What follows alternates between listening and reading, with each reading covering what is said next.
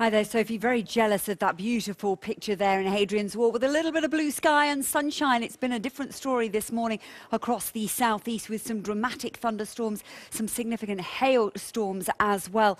And those showers all being driven in by this plume of warm air into the southeast. So you can see the fine weather across Hadrian's Wall, a curl of cloud from a weather front out in the northwest. I'll come back to that in just a moment. But a scattering of sharp showers continue to affect East Anglia. They will start start to ease away through the latter stages of the morning and into the afternoon and allow for some fine weather. But this little fella here is going to introduce more cloud. It'll weaken all the time, not much in the way of rain across the spine of the country, but fresher air. So we've got that heat and humidity with 25, 77 likely today in the southeast. Up into the far north and west, oops, ignore that 25. I don't know where that came from. It's only 12 and it's rather cloudy. So a few sharp showers here in the southeast to ease away.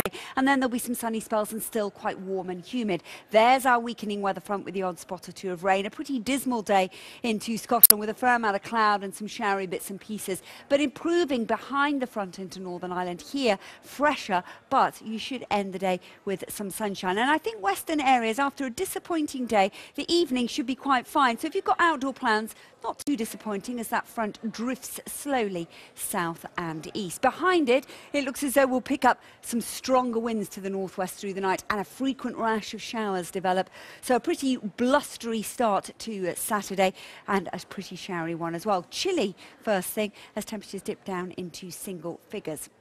What's in store for our weekend then? Well, Yes, windy across the far north and west, and yes, plenty of frequent showers. Breezy further south, but at least across the majority of England and Wales, it stays dry with some sunshine. Not as warm or as sticky out there in the southeast, highs of 20 degrees quite possible. As we move into Sunday, we see lighter winds, so hopefully feeling a little more pleasant and certainly fewer showers around, so a good deal of dry weather, how we like to say usable weather. I don't suppose it's going to be too disappointing weekend, particularly if you've got outdoor plans.